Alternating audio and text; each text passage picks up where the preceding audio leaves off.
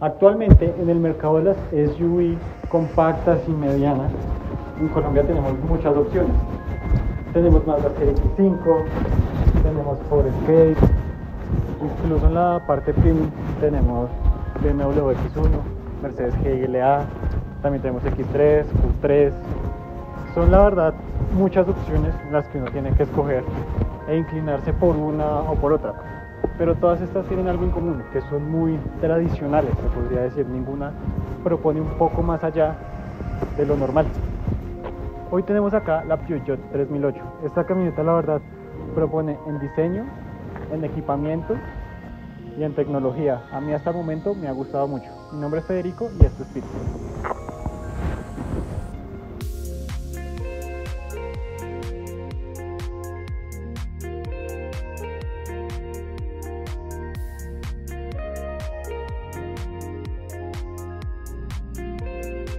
Estéticamente esta camioneta tiene varios rasgos que asemejan un poco a un felino. Acá tenemos el colmillo en ambas luces que le da una apariencia un poco más agresiva. Las luces LED son muy delgadas, se ven muy estilizadas, muy lindas. La parrilla es un poco pequeña, pero la verdad va literal en contra de todas las corrientes que hay actualmente en los carros entre una parrilla cada vez más grande. Acá al centro tenemos el León con una cámara de visión delantera porque esta camioneta tiene visión 360 grados y pues no es una camioneta premium, o sea, muy bien ahí. Acá en la parte baja tenemos esta parte en color gris para proteger el carro de, de huecos, imperfecciones. Tenemos sensores de parqueo adelante y atrás. Acá tenemos los sensores de proximidad delanteros, tenemos luces exploradoras con un embellecimiento cromado. La verdad es una camioneta que a mí me parece muy linda. Estamos en la versión más equipada, acá tenemos el GT Line, que pues nos indica esto, que cuenta con unos rines especiales de 18 pulgadas, las demás versiones vienen con rines 17, tenemos los espejos en color negro junto con el techo, y aquí esta parte en negro que asemeja pues un techo flotante. Siguiendo acá por su parte trasera vemos que aquí también tenemos como una garrita de león en las luces, que son luces muy delgadas, muy afiladas, esta llega un poco aquí hasta el extremo. Acá tenemos una parte cromada que la recorre de lado a lado, la insignia 3008 con la bandera de Francia. Y acá tenemos el logo otra vez del león con la insignia Peugeot. En color negro, lo hace ver muy lindo. Algo muy chévere es la capacidad del baúl, en esta camioneta es de 591 litros, ahorita está en la posición que menos capacidad tiene, tiene el suelo lo más alto posible,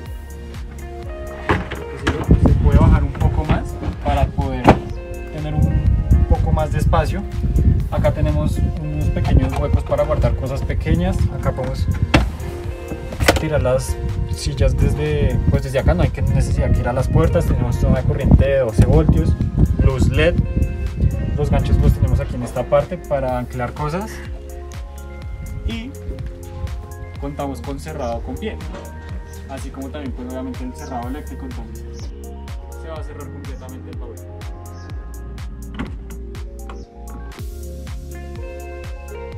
Acá como vemos tiene acceso sin llave, muy interesante. Y en su interior tenemos un diseño totalmente diferente al que uno ve pues, en una camioneta normal.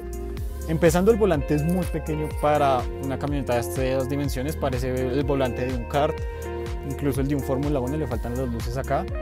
Tenemos levas de cambio que son fijas en la columna de dirección Acá tenemos todo el control del control crucero, limitador y demás.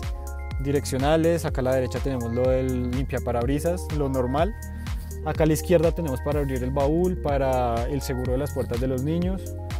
Este material a mí me gusta mucho, es como una tela, pero se siente premium, se siente que puede durar. Esta silla es totalmente eléctrica, La silla es totalmente eléctrica, cuenta con dos memorias, con calefacción, con masajes. Y un punto en el que no mucha gente está de acuerdo es en la posición de manejo. Yo acá me siento bien y el volante respecto al tablero está muy abajo. Pero pues a final de cuentas no me siento incómodo. Mucha otra gente dice que sí se siente incómodo. Julián, intente posicionarse ahí y a ver qué tal se siente usted. De cómo él se sentiría cómodo en esta camioneta.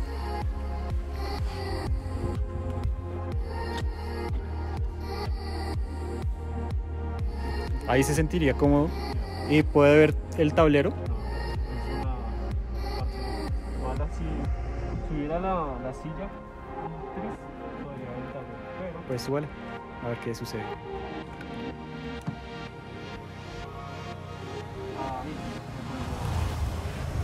¿Y se siente cómodo manejando así? ¿Se siente cómodo? Ya es más cuestión de gustos y de cada persona cómo se acomode. Continuando con el tema del interior, acá tenemos esta pantalla central táctil de 8,8 pulgadas, complementada por esta de la instrumentación que es de 12.3. Ambas son configurables, uno las puede configurar eh, en nivel personal, nivel mínimo, poner como las dos agujas de- del reloj, poner el mapa ahí, una información muy buena, muy minimalista, eso sí me ha gustado bastante. Lo que sí no me ha gustado tanto es el tema de la pantalla central, porque es algo complicada de manejar. Empezando, que no tenemos como un menú principal como todos los otros carros, sino todo se controla por estos accesos directos. Si uno quiere música, oprime aquí música. Si uno quiere la climatización, oprime la climatización. Acá el mapa, acá los ajustes del carro. Si uno tiene un teléfono conectado sería acá y acá sería la conectividad de, por medio de Wi-Fi o por las aplicaciones que tiene este. Esto es, la verdad, al principio algo complicado de manejar porque pues no estás acostumbrado a manejar una pantalla con accesos directos, sino más por un menú. Digamos, para poder ajustar el asistente de parqueo tienes que activar acá el carrito, después aquí el Park Assist. Creo que estar. Acá el Park Assist, luego seleccionar qué tipo de parqueo quieres, si es eh, parqueo de parqueadero normal o parqueo en paralelo mientras carga y ya comienza, uno toca con la direccional decir hacia qué lado quiere y acá pues va buscando un hueco. El problema de esto es que la verdad es un sistema muy demorado, ya mientras uno se mete acá, oprime el Park Assist, mira qué tipo de parqueo quiere, ya en ese tiempo ya prácticamente hubiera podido parquear la camioneta uno solo, pero pues a la gente inexperta va a ser un plus de, de gran ayuda. Otra cosa es el tema de la navegación. Estamos acá en el menú del carrito. La navegación a veces es algo lenta cuando carga el mapa, pero pues tiene navegación, es muy interesante. Acá abajo tenemos el control de la calefacción del asiento del conductor, acá el del pasajero, acá el bloqueo de los seguros y acá otros temas de la, de la calefacción del vidrio trasero para que no se empañe y pues si todo está acá, todo el control del carro prácticamente está acá y no se diferencia entre un botón y otro fácilmente. Bien al fondo tenemos una toma USB de las de siempre, la tipo A, y una toma de corriente de 12 voltios. Algo que no me gusta es que está muy al fondo, entonces para acceder a ella sí toca estirar bastante la mano. Acá tenemos un cargador de celular inalámbrico, ya nos muestra que está cargando, pero también queda un poco muy al fondo. Acá tenemos los cinco modos de manejo, el modo normal, el modo nieve, el modo barro, el modo arena y pues el modo con el control de tracción apagado. Acá tenemos un espacio para guardar un celular, si un iPhone 11 cabe perfectamente. Acá el botón de Start Stop y algo que sí no me gusta es que uno lo oprime y no apaga. Toca oprimirlo la verdad duro, o sea, tener el, oprimirlo muy duro para pues, que el botón funcione. Acá tenemos la, pa- la palanca de cambios tipo joystick con el modo parking y así pues controlamos el modo manual. Acá en la parte baja, freno de mano electrónico, modo sport, que este modo sport es algo interesante, ahorita en la prueba de carretera se van a dar cuenta. Dos pequeños portavasos acá, muy pequeños la verdad, no cabe mucha cosa. Y aquí en la consola central tenemos un espacio muy bueno, aquí cabe la cámara completamente y es bastante profundo. Si uno quisiera poder meter acá un pollo, podría meter un pollo acá, cabe perfectamente. En practicidad, la verdad es muy bueno, tiene muchos espacios, en las puertas también tiene espacio para guardar cosas y están forrados en terciopelo para evitar los sonidos de plástico contra plástico. Muy, muy chévere.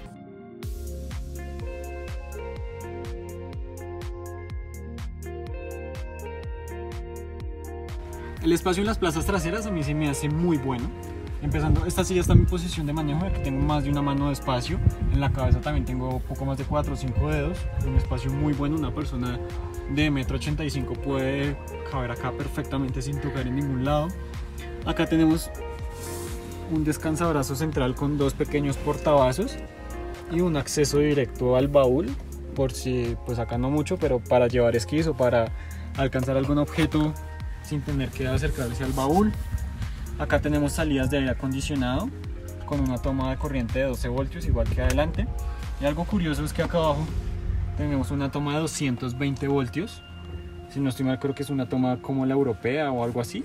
Que eh, aquí en Colombia no es muy útil porque no creo que, que se pueda conectar un celular, pero pues aún así la tenemos. La cabina está inundada de luz por este techo panorámico que es muy grande. La verdad me sorprendió el tamaño pues que sí es, llega prácticamente hasta, hasta las cabezas de las personas de acá. Acá tenemos luz LED, tanto para la parte central como para que las dos personas de los lados puedan leer o, o algo así. Una camioneta que la verdad viene muy bien equipada. Las sillas son tapizadas en esta parte central en tela y en la parte lateral en, en cuero, lo que le da una sensación, la verdad, bastante premium. El cuero se siente de muy buena calidad. Otra cosa que me sorprendió mucho es el tema del túnel de escape, porque la verdad está prácticamente plano. Una persona acá puede ir perfectamente con las piernas cerradas sin incomodar a los de las demás. Y el reposabrazos no hace que el respaldo sea tan duro. Sí es algo más duro que lo de los lados, pero no es para nada incómodo. Contamos obviamente con anclajes ISOFIX. Y en temas de seguridad, algo interesante es que esta camioneta cuenta con 6 airbags.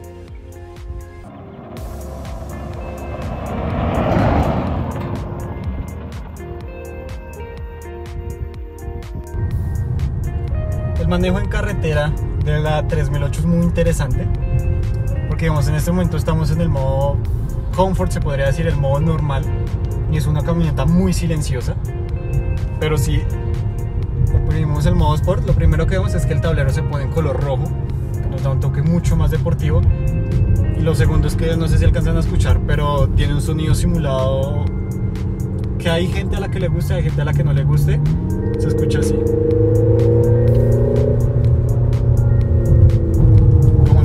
motor mucho más grande, como si fuera un, motor mucho más deportivo.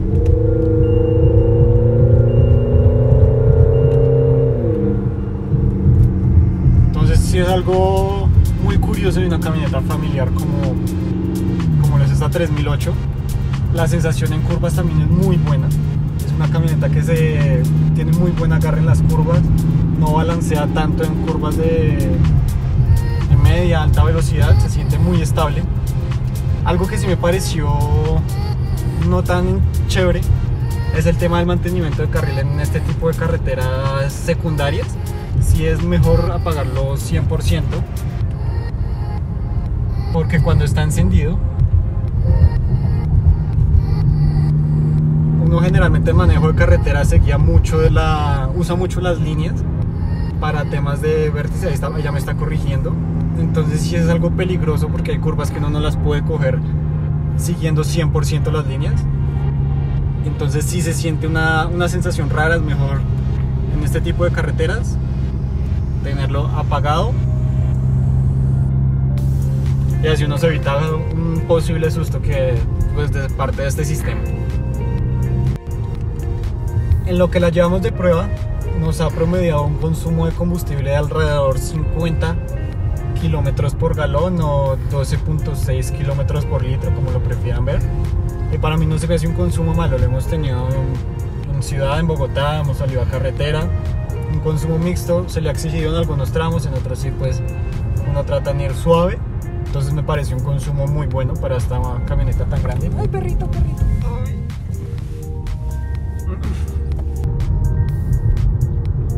Otro tema en el que se saca un 10 esta camioneta es en el diseño. Si bien el volante es pequeñito y no tan tradicional, es un diseño propositivo que habrá gente a la que le encante y habrá gente a la que le disguste, pero pues a mí el diseño de la consola general se me hace muy bueno. La instrumentación también es la verdad muy clara. Siempre vamos a tener en la parte alta el indicador de en qué, en qué cambio vamos, Aquí la pantalla también es muy cercana aquí a la mano, muy cerca del volante. Tenemos conexión a Apple CarPlay y Android Auto.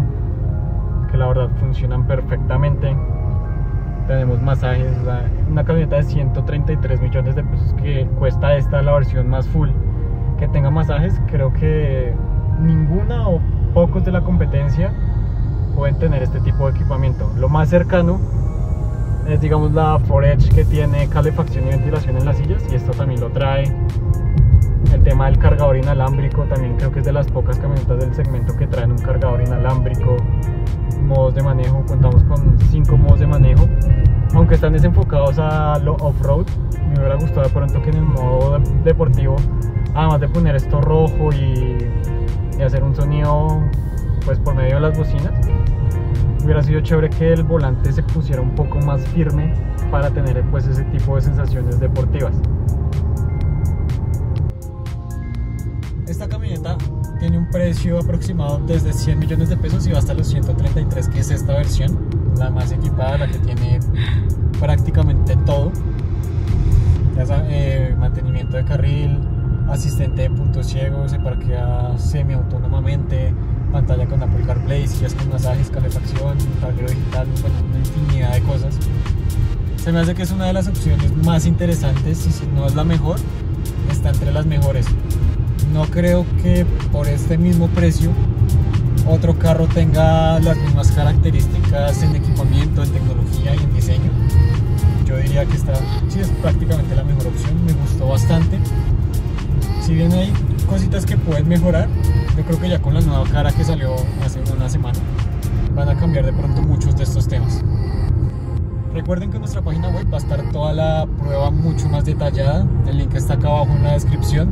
No olviden suscribirse, darle like, compartirlo y comentar si ustedes se comprarían esta camioneta o si prefieren otra, si prefieren un automóvil por el mismo precio. En fin, mi nombre es Federico y esto es Pit Stop. Nos vemos en la próxima. Bye bye.